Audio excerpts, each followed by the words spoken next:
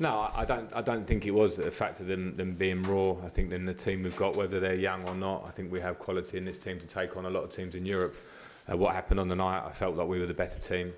Uh, we conceded a goal, which I think my major feeling after the, the, the first game was the lesson that will always be there, whether you're 18 year old or 32, is that in the Champions League, if you sleep for one moment, you can lose a game at this level. Um, and that was a lesson in the first game. Um, since then, of course, we've, we've shown moments where we've gone to Lille and gone to Ajax and got results in very tough places. And we'll need to take every bit of concentration, every bit of um, focus into this game because the rules always remain the same, particularly when you travel in the Champions League, particularly when you come to a stadium like this, which is a fantastic stadium to play football, but can be a very difficult one when you're the opposition coming here.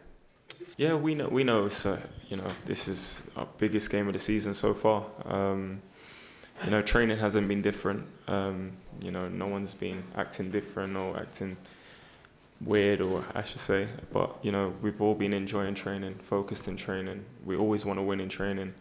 Um, obviously, coming after that that loss at Man City, you know, we're all disappointed. But we know we had to pick ourselves up.